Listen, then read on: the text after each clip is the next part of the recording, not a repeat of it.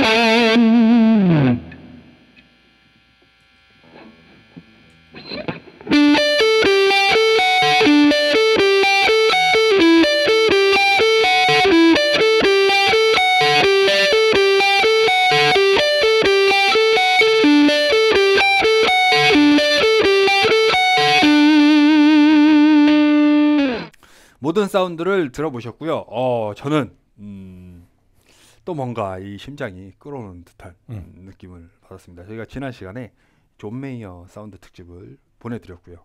이번 시간에 이 마샬 사운드 특집을 들려드렸는데 은총 씨가 존 메이어 사운드를 연주를 했을 때 어, 잘 어울린다. 어, 역시 김은총 어, 이런 존 메이어 스타일이야라고 생각을 했다가 마샬 연주 사운드를 연주하는 거 들으면서 뼛속까지 기본적으로 락커구나 어, 라는 생각을 다시 한번 음, 갖게 됐습니다. 이 저희가 늘 이 이펙터 타임즈나 플레이어스 가이드에서 마샬 앰프에 대해서 논할 때 요즘에 조금 아쉬운 행보를 보이고 있잖아요. 물론 이 시대의 흐름이란 게 있기 때문에 이 사업자 입장에서는 어쩔 수가 없다라고 저는 생각을 합니다. 그리고 요즘에 이 마샬에서 나오는 블루투스 스피커들이 디자인도 그렇고 사운드도 괜찮아서 네. 굉장히 좋은 평가를 많이 받고 있잖아요. 하지만 이 우리 같은 이제 락 고인물들 같은 경우에는 예전에 그 느꼈던 이 마샬의 강렬한 음. 그리고 뭔가 이렇게 심장을 때리는 그 사운드를 지금까지도 원하고 있단 말이에요. 네. 어, 그런 부분에 있어서 다소 아쉬움이 느껴졌었는데 이런 부분들을 지금 전 세계에 있는 유명 이펙터 회사들이 채워주고 있다라고 저는 생각을 가져봅니다.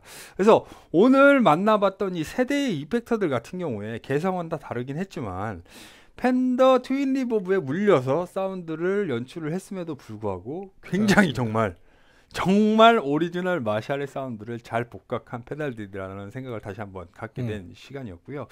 무엇보다 어, 최근에 들어서 저희가 이렇게 막 후끈한 사운드 그렇습니다. 이런 느낌의 이 리뷰들을 많이 못 보여드렸던 것 같은데 에, 저는 굉장히 기분이 좋았다. 네. 라는 생각을 다시 한번 전달을 해드립니다. 오늘 세 대의 어, 마샬 기반 이펙터들을 은총 씨께서 연주를 해보셨는데 느끼신 소감을 공유해 주시면 좋을 것 같습니다. 네. 일단 그 전에 형님한테 질문 하나 음, 드리고 음, 싶습니다. 그 형님은 이제 마샬 앰프 중에 어떤 모델을 가장 저는 좋아하나요? 솔직히 조금 어떻게 보면 야 그게 무슨 마샬이야 할지 모르겠지만 저희가 쓰고 있는 JCM 2000 굉장히 좋아했었어요. 아, 어. 2000 2000 어, 음, 스타일이시군요. 2000 2000. 음, 음. 굉장히 현대적이긴 하지만 마샬의 어떻게 보면 마지막 마샬이다라고 할수 있는 음, JCM 네. 2000. 어. 그렇습니다. 저 같은 경우는 이제 JCM 800이나 음, 이제 900 음. 요 두 개 사운드 좋아하는데 그래서 지금도 뭐 물론 제가 그 앰프를 소유하고 있지는 않습니다만 제가 그 사운드 샘플을 굉장히 많이 씁니다. 음. 저 같은 경우. 그래, 그래서 이제 뭐 그때 사운드 좋아하고 오늘 뭐 그냥 뭐 그뭐 이렇게 들려드린다고 음, 이제 음. 하, 하면서 그냥 생각이 난 게 그냥 그 Les Paul도 있으니까 그냥 괜히 이제 슬래시 음, 걸 음, 쳐봤습니다. 음. 제가 이제 뭐 존 메이어에서 또 이제 사실 존 메이어 전이죠. 음.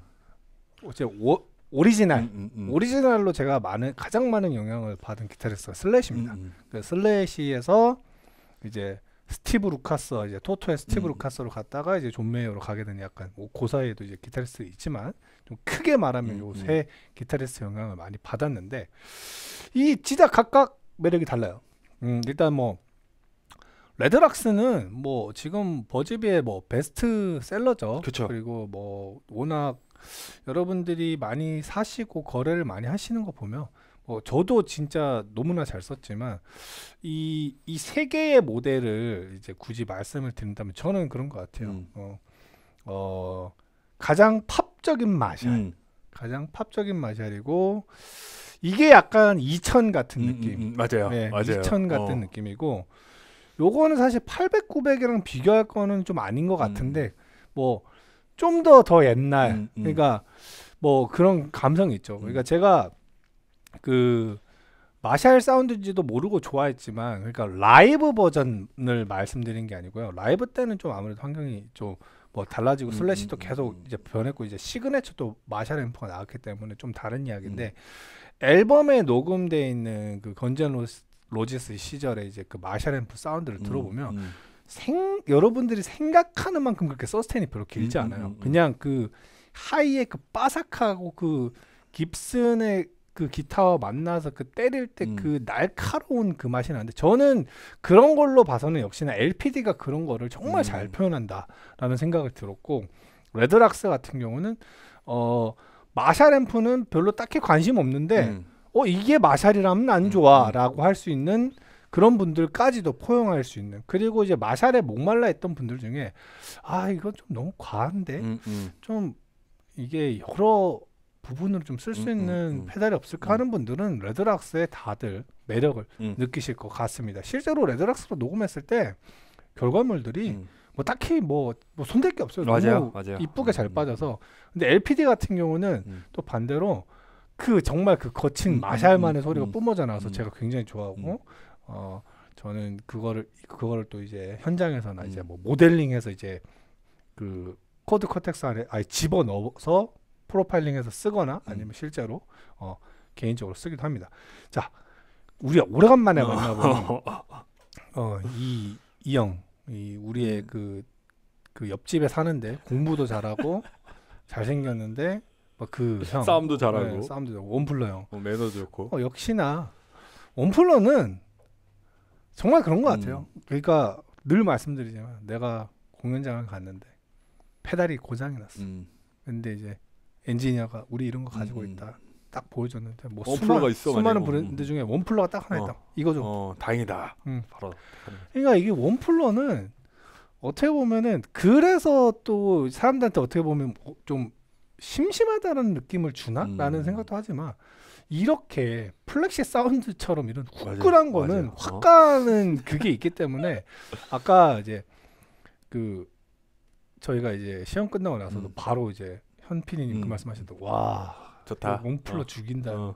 그러니까 그런 식으로 이 사람의 심장을 불태우는 사운드가 있습니다. 그래서 이런 것들 오늘 뭐 그리고 이미 녹음된 사운드 자체가 셋 다 굉장히 다르다라는 걸 느끼실 거예요. 그러니까 일부러 뭐 톤을 비슷하게 잡기보다는 그 비슷하게 잡을 수도 없고 그냥 이 세 가지 페달에 음. 어 뭔가 예를 들면 뭐 마샬 앰프도 시대별로 음. 사운드가 다 맞아요. 달랐잖아요. 어. 그런 것처럼 얘네들이 도대체 어떤 마샬 사운드 아니면 어떤 뭐 마샬이 아니어도 그 high gain 앰프를 모델링했을까 궁금해하면서 보시는 보시고 음. 나의 취향은 어디일까라는 것도 이렇게 선택하는 음. 것도 굉장히 좀 좋은 방법일 것 같습니다. 그렇습니다. 어, 이 기타를 잡았다면 음. 그리고 락 음악을 한 번이라도 음. 어, 뭐 커버를 하든지 연주를 해보셨다면 그분의 혈관에는 마샬의 피가 어, 흐른다. 저는 그렇게 생각을 합니다. 이 부정할 수 없는 그렇습니다. 음, 유산이다라고 저는 생각을 하고요. 오늘 이 세 대의 이펙터 어, 원청 씨가 굉장히 잘 정리를 해주셨는데 에, 시대별 혹은 모델별 음. 사운드 게다가 거기다가 이 이펙터 브랜드만의 철학을 녹여서 어, 조금은 현대적인 음. 마샬의 사운드 그리고 전통적인 마샬의 사운드를 자 복각한 어, 페달들이었다라는 생각을 가져봅니다. 저는요 JCM 800, 900 지금 나오잖아요. 음. 펜더 앰프 안 씁니다. 어. 그게 지금 그런 사운드 나는 앰프가 없어서 음. 어 그냥 가장 지금도 예전과 비슷하고 그나마 접근성이 좋고 물론 당연히 좋습니다. 음, 음, 좋으니까 음. 펜더 쓰는 거지. 저는 만약에 마샬 우리나라에서 또 마샬 앰프를 그렇게 구할 수 있고 음, 음. 그 모델이 양산돼서 나온다면 바로 저는 800에서 900으로 음. 갈아탑니다. 저는. 그렇습니다. 네. 그만큼 굉장히 매력적인 지금까지도 어, 이 마샬의 JTM 45가 나온 이후에 지금까지도 그 사운드를 원하는 연주자들이 있기 때문에 이렇게 이펙터 브랜드들에서 계속해서 그 마샬의 사운드 그 DNA를 이어나가는 게 아닌가라는 생각을 가져본 시간이었습니다. 저희는 다음 시간에도 다른 주제를 갖고 찾아뵐 것을 약속드리면서 이 시간 마무리 짓도록 하겠습니다. 네. 이펙터를 사랑하는 이펙터 덕후들이 만듭니다. 이펙터 타임즈 다음 시간에 뵙겠습니다. 감사합니다. 유튜브 구독과 좋아요는 우리에게 큰 힘이 됩니다.